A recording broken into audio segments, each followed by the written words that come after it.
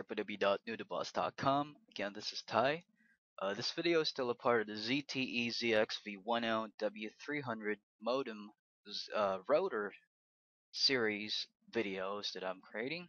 And this time what I would like to show you is how you can change your device uh, password. What you do is log in, uh, bring up your Firefox, type in 192.168.0 dot one. I'm sorry, dot one dot one since it's a ZTE. If you can't access this page, um, sorry, let me just make it specific. You don't need to use those uh, forward slash, just purely numbers. 192.168.1.1. Type in admin. Type in the current password.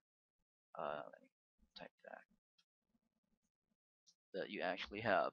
Again, the focus of the video is on how you can make changes on the password. You can't change your username because it's default already. So you go for maintenance right here. And you got administrator, you got something that says admin for the username, and you can't change that as I mentioned.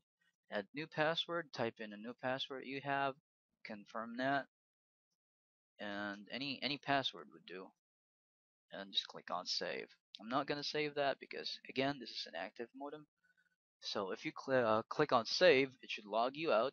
Better to restart your modem so you could be sure with the changes. Then try to log back in. Try to re-access the page 192.168.1.1 and enter the new password that you have.